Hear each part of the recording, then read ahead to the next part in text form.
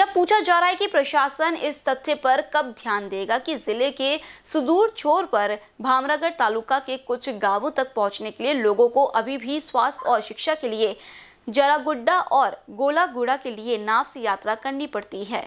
भामरागढ़ त्रिवेणी संगम से सटे गोलगुड़ा गाँव जरगुड्डा तक पहुँचने के लिए खतरनाक जीवों को नदी तले से हाथ में हाथ डालकर यात्रा करनी पड़ती है। झारे गुड्डा से भामरागढ़ की दूरी कम से कम दो किलोमीटर है।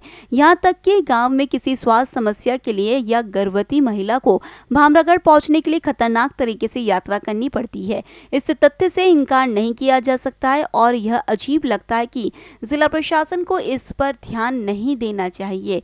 ये दुखद है कि इस उपेक्षा के कारण क्षेत्र के छात्र मानसून के दौरान शिक्षा से वंचित रह जाते हैं।